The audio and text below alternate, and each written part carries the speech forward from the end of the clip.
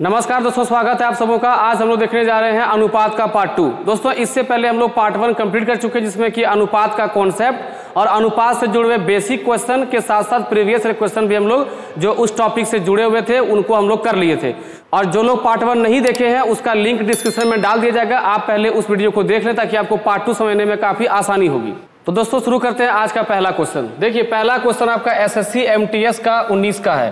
दोस्तों, अभी आपका एसएससी का एमटीएस का बहाली भी आया हुआ है, जिसमें कि कांस्टेबल का पद दिया गया है। आप में से कई लोग इस फॉर्म को भरे होंगे तो जो लोग इस फॉर्म को नहीं भरे, दोस्तों, जल्दी से भर लीजिए, क्योंकि बहुत अच्छा सीट दिया गया है। और आज देखिए, हम लोग कई सारे क्वेश्चन एमटीएस का और एलडीसी जिसको आप सीएचएसएल कहते हैं, उसका हम लोग क्वेश्चन करने जा रहे हैं। पहला क्वेश्चन कहता है कि यदि एक्स, वाई, जेड का अनुपात पाँच अनुपात, सॉरी, तीन अनुपात, चार अनुपात पाँच है, और x plus y plus z का मान नाइन्टी सिक्स छियानवे है तो जेड का मान क्या होगा? तो दोस्तों, ऐसे सवालों में आप बहुत से कम समय में भी क्वेश्चन को सॉल्व कर सकते हैं। देखिए, अगर कोई सामान्य विद्यार्थी होगा तो इस क्वेश्चन में एक्स मान लेगा। लेकिन आपको जो हम टेक्निक बता रहे हैं, इसमें ना कुछ मानना है और ना ही सोल्यूशन करना है डायरेक्ट आपका उत्तर आ जाएगा। देखिए, x का अनुपातिक मान तीन है, y का चार है और z का पाँच है। और हमको सबको जोड़ के बोला दोस्तों, कितना है? छियानवे है। इसका मतलब कि अगर हम इसको सॉल्व करेंगे x मान करके तो भी एक प्रोसेस होगा, वहाँ से x का मान निकलेगा, तब आप यहाँ पर z का मान निकाल सकते हैं। तो अगर हमको z का मान पूछा दोस्तों तो z का मान कितना हिस्सा, बताइए? दोस्तों, कितना हिस्सा है? पाँच हिस्सा है। इसका मतलब कि आपका जेड का जो आंसर आएगा, जेड का जो मान आएगा, वो पाँच से कटने वाला होगा वो एक ही है, वो है चालीस। ध्यान दीजिएगा, ये ऑप्शन तो हम घर से उठा के लाए नहीं है। आप चाहें आप चाहें तो क्वेश्चन चेक कर सकते हैं एमटीएस का 19 का। इस प्रकार से ऑप्शन दिया गया था ताकि एग्ज़ाम में स्टूडेंट को कम से कम टाइम लगे। अब जिस, जिसके अंदर में कॉम्पिटिटिव अप्रोच नहीं है, आप सोच सकते हैं कि उसमें क्या करेगा? देखिए, तीन एक्स प्लस चार एक्स प्लस पाँच एक्स सबको जोड़ने दोस्तों कितना रहा? छियानवे। सबको जोड़िए। पाँच, चार, नौ, तीन, बारह। बारह एक्स का मान छियानवे, यहाँ से चार से सॉरी बारह से काटोगे। एक्स का मान आठ आएगा, तब ये जेड का मान पाँच एक्स है और पाँच एक्स का मान दोस्तों आप चालीस लेकर के आएँगे। तो क्या ये कॉम्पिटिशन में टिकने वाला अप्रोच है? बिल्कुल भी नहीं।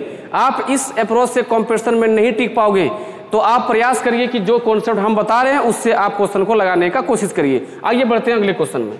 अब दोस्तों, अगला क्वेश्चन देखिए, ये भी आपका एसएससी एमटीएस का 19 का क्वेश्चन है। तो आज का जो वीडियो दोस्तों है ये स्पेशली हम कहते हैं कि आपका जो तो दोस्तों, आज का जो वीडियो है, ये हम टारगेट किए हैं आपका एसएससी और टेट के एग्ज़ाम्स को। जैसे कि आप एसएससी में एमटीएस हो सीएचएसएल हो, या तो आप टेट में झारखंड टेट अगर दे रहे हैं, या बिहार टेट की तैयारी कर रहे हैं तो आपको इस वीडियो से काफ़ी फ़ायदा होगा। आप क्वेश्चन देखिए। कहता है एक्स वाई जेड का मान दिया है, एक अनुपात, दो अनुपात, तीन। X square y square z square का मान दो सौ चौबीस। तो x plus y plus z का मान कितना होगा? सबसे पहले हम लोग देखते हैं कि क्या टेक्निक से क्वेश्चन को सॉल्व किया जा सकता है। देखिए, हमको x plus y plus z का मान पूछा गया है, और x का मान है एक हिस्सा, दो का, y का मान है दो हिस्सा, और जेड का मान है तीन हिस्सा। आप अनुपात को हमेशा भाग मान के चलेंगे। तो x का एक, y का दो, और z का तीन। कुल मिलाकर तीन, दो, पाँच और एक छः इसका मतलब कि हमको छः भाग का मान निकालना है। याद आ रहा है? छः भाग का मान निकालना है। अब देखिए छः से कटने वाला अड़तालीस भी है, छत्तीस भी है, बयालीस भी है, चौबीस भी है। तो ये सवाल उस तरह से क्वेश्चन सॉल्व नहीं होगा। अब यहाँ पे आपको थोड़ा सा फास्ट कैलकुलेशन करना होगा। देखिए, पहला कहता है एक्स स्क्वायर यानी अगर एक्स का मान अगर हम एक एक्स मानते हैं तो एक एक्स का स्क्वायर कितना हो जाएगा? एक्स स्क्वायर y का मान दो है तो दो एक्स माने हैं तो y स्क्वायर कितना दोस्तों होगा? दो दूनी चार एक्स स्क्वायर। और z का मान तीन माने हुए तो z स्क्वायर दोस्तों कितना जाएगा? तीन तिया नौ एक्स स्क्वायर। इसका मान दो सौ चौबीस है। नौ, चार, तेरह और एक चौदह। चौदह एक्स का मान दो सौ चौबीस। देखिए, चौदह से कटता है। चेक कर लिए तो। चौदह को एक बार काटेंगे तो दोस्तों बचेगा आठ। आठ और चार तो चौदह छक चौरासी, यानी एक्स स्क्वायर का मान दोस्तों आ रहा सोलह तो एक्स का मान आपका आ जाएगा चार। अगर एक्स का मान चार आया तो आपको सिक्स एक्स का मान निकालना है तो सिक्स इंटू फोर बराबर चौबीस, आपका डी नंबर आंसर है। तो कभी कभी क्या होगा कि कुछ सवालों में डायरेक्ट आपका कॉन्सेप्ट काम नहीं करेगा, और अगर डायरेक्ट कॉन्सेप्ट काम नहीं करेगा तो भी आप इस क्वेश्चन को सॉल्व कर सकते हैं। ठीक है दोस्तों? आइए बढ़ते हैं अगले क्वेश्चन में। दोस्तों एमटीएस का ही एक और सवाल देखिए आपके सामने है। और इस तरह का मज़ा लीजिए क्वेश्चन को करने का, ठीक है? अनुपात तो दोस्तों, बहुत तरह से आप पढ़े होंगे, लेकिन ये जो तरीका है, इससे आपका एग्ज़ाम बहुत आसान हो जाता है। कहता है, x प्लस वाई का मान बावन है और x माइनस वाई का मान 20 है तो x अनुपात y का मान क्या होगा? आप देखे थे कि यही सवाल हम पिछले वीडियो में आपको सी एच एस यानी कि एल में कराए हुए थे, और वहाँ पर भी आप इसमें बहुत ही आसान सा टेक्निक समझे हुए थे। अब देखिए, x प्लस वाई का मान दिया हुआ हो और x माइनस वाई का मान दिया हुआ हो तो x का मान दोस्तों कैसे निकालते हैं? इन दोनों को जोड़ देना। बावन जोड़ बीस, बहत्तर को आधा करना है छत्तीस। अब y का मान दोस्तों कैसे निकलेगा? बावन में 20 को घटा देना दोस्तों, बत्तीस। बत्तीस में अगर हम हाफ़ करेंगे तो 16 मिलेगा। तो 36 और 16 का अनुपात निकालना है क्योंकि x अनुपात y निकालना है। आप अगर इसको काटते हैं चार से सॉरी छः से छः सौ नहीं कटेगा चार से काटोगे तो नौ चौक छत्तीस। और चार गुने चार। यानी आपका इसका भी आंसर ऑप्शन नंबर डी है नौ अनुपात चार। अब दोस्तों, अगला क्वेश्चन देखिए, ये भी आपका एसएससी एमटीएस का 2019 का सवाल है। सवाल कहता है कि x plus y plus z का मान 360 दिया गया है। X वाई जेड अनुपात का मान चार अनुपात, तीन अनुपात दो दिया गया है। तो x sorry y plus z minus x का मान निकालना है। Y plus z minus x तो सबसे पहले क्या करेंगे? बिना सॉल्यूशन का अपने ट्राई कर लेंगे। Y प्लस जेड, वाई का मान दोस्तों तीन और जेड का मान कितना दोस्तों दो? तो वाई प्लस जेड मतलब तीन प्लस दो पाँच और उसमें एक्स घटाना मैंने चार। तो एक्स चार घटा देंगे तो मान हमारा कितना निकालना होगा? एक भाग का मान निकालना है। तो भाई एक से तो सब कट जाएगा। एक से सब कट जाएगा। तब अब यहाँ थोड़ा सा हमको काम करना होगा कि इससे हमको पहले ये मान निकालना होगा कि एक भाग का मान कितना होता है वही हमारा उत्तर आ जाएगा। देखिए, चार और तीन, सात दो नौ नौ भाग का मान कितना बताइए? 360 क्योंकि तीनों को जोड़ने पर कितना बोल रहा है? 360 जब आप नौ से काटते हैं तो आपका मान दोस्तों कितना आ रहा है? चालीस, ऑप्शन नंबर सी आपका उत्तर है। कोई दिक्कत नहीं है? ठीक है सर। आइए बढ़ते हैं अगले क्वेश्चन में। देखिए दोस्तों, अगला क्वेश्चन भी है 2019 का, लेकिन अब यह सवाल आपका सीएचएसएल का है। यानी इसको आप एलडीसी कहते हैं सामान्य भाषा में। और ये सवाल क्या किया गया है? जो अभी आप एमटीएस का क्वेश्चन कुछ देर पहले बनाए थे, वही सवाल है, लेकिन इसको शब्द में लिख दिया है वर्ड में लिखा गया है, ताकि आप खाली डाइवर्ट हो सके। क्वेश्चन कहता है कि दो संख्याओं का योग और अंतर क्रमशः सत्ताईस और तीन है तो दो संख्याओं का अनुपात क्या होगा? अगर हम दो संख्याओं का योग a प्लस बी सत्ताईस और a माइनस बी तीन अगर ले रहे हैं तो अब आपको याद आ गया होगा टेक्निक क्या है कि a और b कैसे निकाला जाए। देखिए, जब ए निकालना होगा तो इन दोनों को जोड़ेंगे। सत्ताईस, तीन, तीस का आधा करेंगे पंद्रह और बी का मान निकालना सत्ताईस में तीन घटाएँगे, चौबीस में दो से भाग करेंगे बारह। यानी आपका जो अनुपात होगा वो पंद्रह अनुपात बारह होगा। यहाँ से काटने पर पाँच अनुपात चार हो जाएगा, तीन से काट दिए तो हमारा उत्तर हो जाएगा सी नंबर, ऑप्शन सी पाँच अनुपात चार। क्या लग रहा है कि अनुपात अगर इस तरह से बनाया जाए तो बहुत आसानी से क्वेश्चन बन सकता है। और आप एक चीज़ गौर कर रहे हैं कि इतना आसान क्वेश्चन एग्ज़ाम में, वो भी लेटेस्ट एग्ज़ाम में दे रहा है। अभी हाल फ़िलहाल एग्ज़ाम में। इसका मतलब है कि एग्जामिनर आपसे बहुत टैलेंट नहीं ढूंढ रहा है। आपका टैलेंट वो चेक नहीं कर रहा, आपका कॉन्सेप्ट चेक कर रहा है कि आप कितने आसानी से क्वेश्चंस को कम टाइम में डील कर सकते हैं। आइए बढ़ते हैं अगले क्वेश्चन में। फिर दोस्तों, अगला क्वेश्चन देखिए, आपका एमटीएस का मिल गया।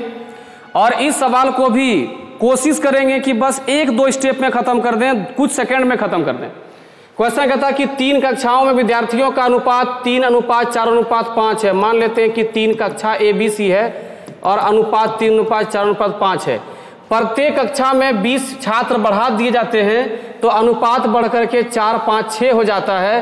तो तीनों कक्षाओं को मिलाकर, तीनों कक्षाओं को मिलाकर उनमें छात्रों की आरंभिक संख्या क्या है? तो जब विद्यार्थी 20 20 बढ़ाया जाता है सब क्लास में तो अनुपात दोस्तों कितना हो रहा है? तीन चार अनुपात, पाँच अनुपात छः हो रहा है। अब कहता है कि पहले, आरंभिक मतलब में क्या हो गया? पहले पहले कक्षा में कितना छात्र था? तो देखिए, पहले कक्षा में चार, तीन, सात, पाँच, बारह भाग छात्र था। तो आप ये भी चेक कर सकते हैं कि 12 से जो आपका मान कट जाएगा, वही आपका उत्तर होगा। तो आपका, आप कैलकुलेशन से बच जाएँगे। अगर आपको कह रहा है कि तीनों कक्षाओं का छात्र कितना था कुल मिलाकर के तो तीनों कक्षाओं के छात्र का अनुपातिक मान को जोड़ लीजिए, आपका देखिए मान आ जाएगा। तो कितना? पाँच, चार, नौ, तीन, बारह। और बारह से कटने में देखिए, आपको एक तो दिख रहा दो सौ चालीस।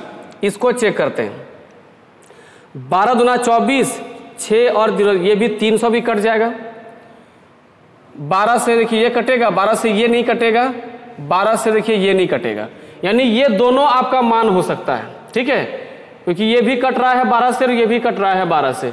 तो ऐसी स्थिति में अब आपको थोड़ा सा काम करना चाहिए कि भाई हमको इसमें थोड़ा सा कैलकुलेशन कर लेते हैं। देखिए, आप इन, इस सवाल में क्या कर सकते हैं कि भाई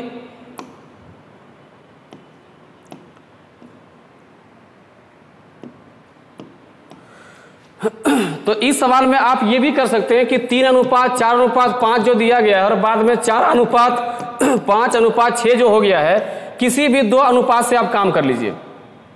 देखिए, पहले कक्षा का अनुपात और दूसरे कक्षा का अनुपात। पहले तीन था, बाद में चार, फिर ये चार से पाँच।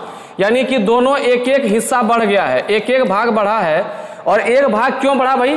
क्योंकि बीस छात्र बढ़ गए हैं। तो एक भाग का मान कितना आ रहा है? बीस। ध्यान दीजिएगा, एक भाग का दोस्तों मान कितना आ रहा है? बीस। अगर एक भाग का मान बीस आ रहा है तो हम ये कह सकते हैं कि तीन भाग का मान इसमें कितना होगा? साठ होगा। चार भाग का मान कितना होगा बताइए? अस्सी होगा और पाँच भाग का मान कितना होगा? एक सौ होगा।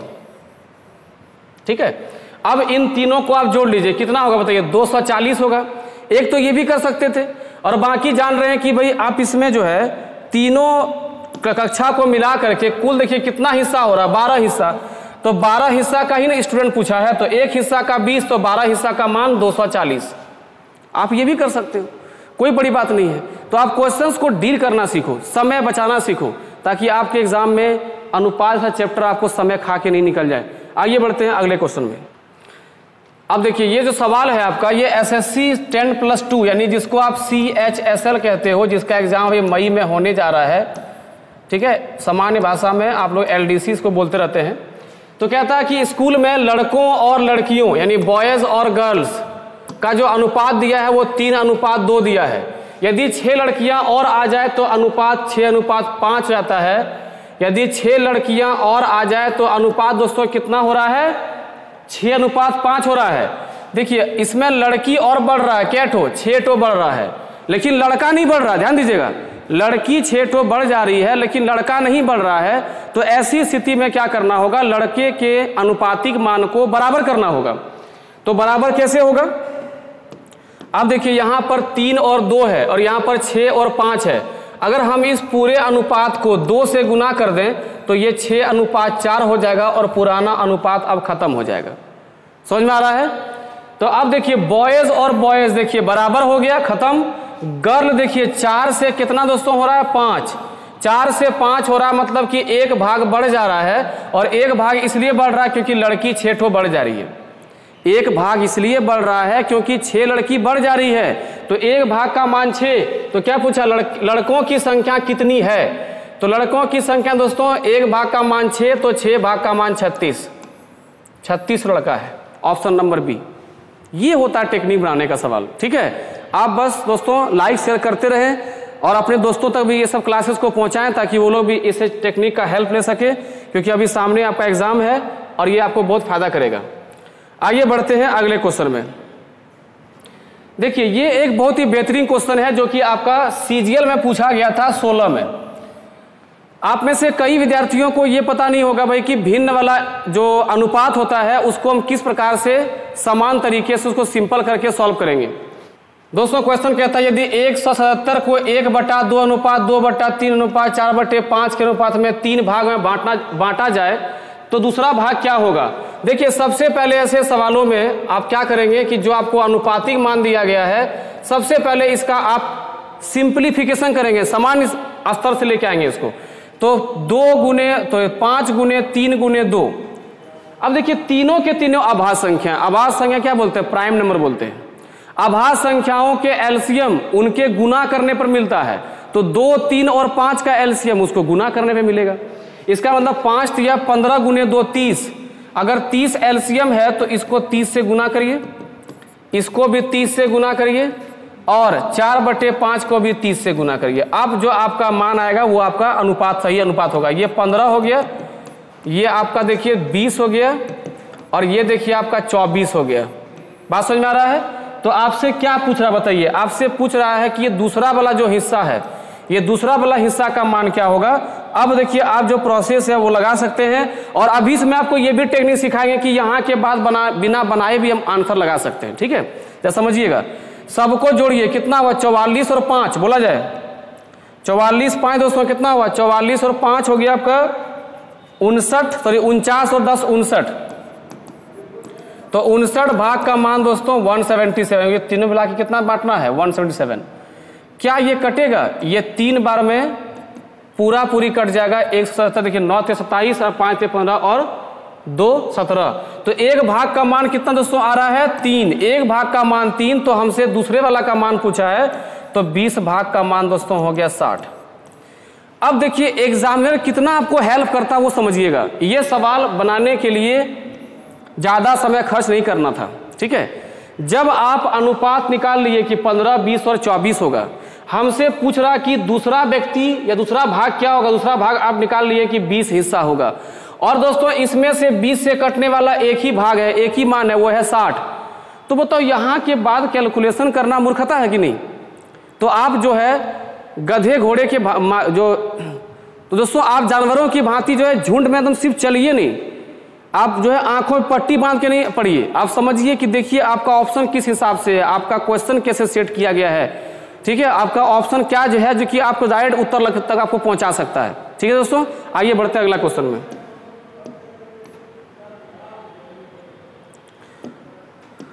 दोस्तों, अगला क्वेश्चन देखिए, आपका एसएससी सीजीएल से दिया हुआ है और ऐसा नहीं कि सीजीएल में है तो किसी और में नहीं आ सकता है। ये क्वेश्चन आपका एनटीपीसी में भी आ सकता है टेट में भी आ सकता है एसएससी एमटी में भी आ सकता है। क्वेश्चन कहता है कि ए बी सी के बीच पाँच, छह, नौ के अनुपात में विभाजित की गई राशि कोई है? कोई धनराशि को बांटना है? ए को चार सौ पचास रुपया मिले हो तो कुल धनराशि कितनी थी? देखिए, पाँच छ और नौ, ये है तीन आदमी का हिस्सा। और ए का हिस्सा दोस्तों कितना है? चार सौ पचास। तो ए का हिस्सा है चार सौ पचास। तो अगर यदि हम ए का हिस्सा पाँच लिख रहे हैं, बी का छह और सी का नौ तो पाँच हिस्सा का मान दोस्तों कितना हो गया? चार सौ पचास, पाँच से काटेंगे नब्बे। पाँच से काटे नब्बे हो गया मतलब कि एक भाग, यानी एक हिस्सा का मान नब्बे है। आपसे क्या पूछा? कुल धनराशि कितनी थी? तो कुल जोड़िए, नौ, छ, पंद्रह और बीस। बीस हिस्सा था, एक हिस्सा का मान नब्बे, बीस हिस्सा का मान अठारह, सौ हटा क्वेश्चन कुछ भी नहीं है ये सब क्वेश्चन तो ये सब सवाल एग्ज़ाम में पूछने का एक ही मसला होता है कि समय आपसे बर्बाद कराना। लेकिन आपको बर्बाद नहीं करना है।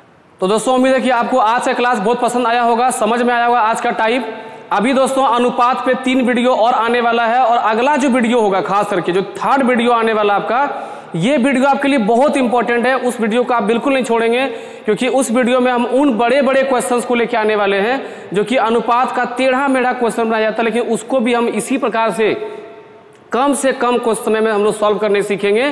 तब तक के लिए पढ़ते रहिए। जय हिंद।